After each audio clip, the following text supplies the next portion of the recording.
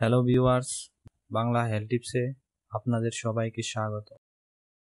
আমাদের আজকের বিষয়, তিন টাকার একটি ফলের রসেই গলবে কিডনির পাথর। অপারেশন ছাড়াই গলবে কিডনির পাথর। শুধু একটি ফলের রসেই কিডনির পাথর দূর হবে। প্রতি বছর পৃথিবীতে ক্যান্সারের চেয়ে বেশি মানুষের মৃত্যু হয় কিডনির সমস্যায়। কিডনি সমস্যার সবচেয়ে বড় কারণ কিডনি স্টোন অতিরিক্ত মাংস খেলেই বিপদ। কম পানি খেয়েছেন কি মরেছেন? কম সবজি খেলেও সমস্যা। বেশি নুন খাওয়া ক্ষতিকর। বংশগত কারণেও কিডনিতে পাথর হওয়ার আশঙ্কা থাকে। মাঝে মাঝে ডিহাইড্রেশন হলেও কিডনিতে পাথর তৈরি হতে পারে। ইউরিন ইনফেকশন হলেও কিডনিতে পাথর জমতে পারে। মাইগ্রেনের জন্য ব্যবহৃত টোপিরামেট জাতীয় ঔষধ কিডনিতে পাথর হওয়ার ঝুঁকি বাড়ায়। ওজন বাড়লেও মারাত্মক বিপদ। কিডনির ভেতরের এই পাথরগুলো মূত্রনালীর মাধ্যমে মূত্রথলিতে যাওয়ার চেষ্টা করে। পাথর যখন সংকীর্ণ নালীর মধ্যে দিয়ে যায়, তখন প্রচণ্ড ব্যথা হয়। কখনো কখনো নালীটি পুরোপুরি বন্ধ হয়ে যায়। এই অবস্থায় অপারেশন ছাড়া পথ থাকে না।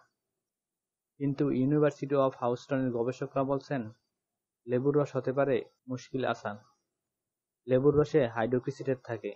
এটা আমাদের শরীরের ক্যালসিয়াম অক্সলেট ক্রিস্টাল গলিয়ে দিতে সাহায্য করে। এই ক্যালসিয়াম অক্সলেট ক্রিস্টালের কারণেই প্রধানত কিডনিতে পাথর হয়। গবেষকরা বলছেন, দিনে দুইবার চার আউন্স পাতিলেবুর রস খেতে হবে। বত্রিশ আউন্স টাটকা লেমুনেডু খাওয়া যেতে পারে। দুই আউন্স লেবুর রসের সঙ্গে ছয় আউন্স পানি মিশিয়ে নিতে হবে। সকালে ব্রেকফাস্টের আগে এবং রাতে শোয়ার আগে লেবুর রস খেয়ে নিতে হবে। শুধু কিডনির স্টোনই নয়, লেবুর রসে আরও অনেক উপকারিতা আছে। শক্তি বাড়ায় লেবুর রস, লিভার পরিষ্কার রাখে, ভাইরাসজনিত সংক্রমণ প্রতিরোধ করে, কোষ্ঠকাঠিন্য দূর করে লেবুর রস। ত্বক পরিষ্কার রাখে, ওজন কমাতে সাহায্য করে মূত্রনালীর সংক্রমণ দূর করে রূপ ভালো রাখে, দাঁত ব্যথা কমায়।